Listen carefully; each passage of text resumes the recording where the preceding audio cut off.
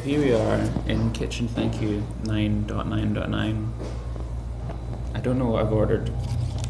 I've ordered this one here, and I think I've asked for a beer. She said sake.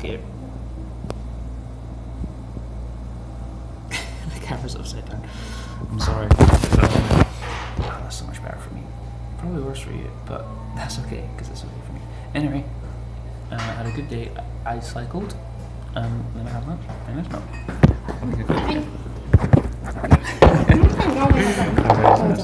これでも自転車乗るようでしょ Mm. あれここはダメよこ Okay. れ Has to have to drink in here. あの自転車でうんはい。はい。お願いします。Anyway, the, the campsite is just down there. Another free campsite courtesy of Japan. And it was very pleasant.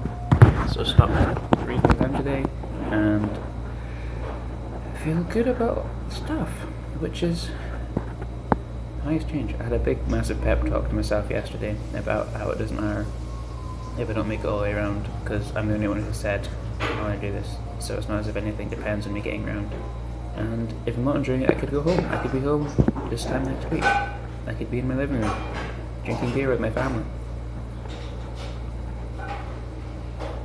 But I don't want to do that because I want to keep on cycling. Although, it has occurred to me that rather mum suggested that I could.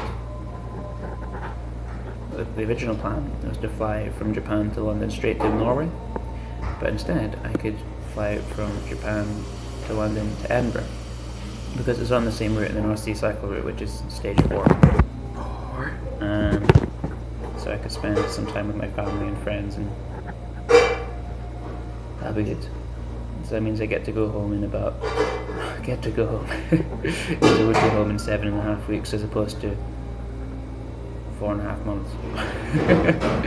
so anyway, hope you're well and that the upside down video wasn't too much of a hassle.